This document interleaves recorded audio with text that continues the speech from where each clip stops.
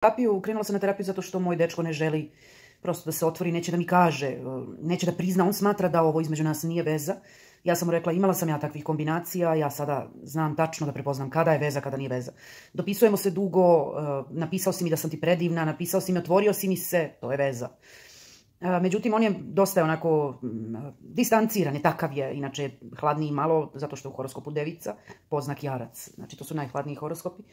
Ovaj, i to mu se isto nije dopalo kad sam mu rekla da sam uradila horoskop, pa kako si to, zašto si to uradila, pa to me plaši. Pa rekao, tebe sve plaši, zato ni ne želiš da budemo vezi. Inače, on je poznati glumac, javila sam mu se preko interneta, imam, napravila sam njegov fan page i tu mi je pisao, predivna si i tako. Tu se i otvorio i tu sam mu rekla, ti ni ne vidiš koliko je naša veza jaka i duboka i ti ni ne vidiš da smo mi zapravo srodne duše.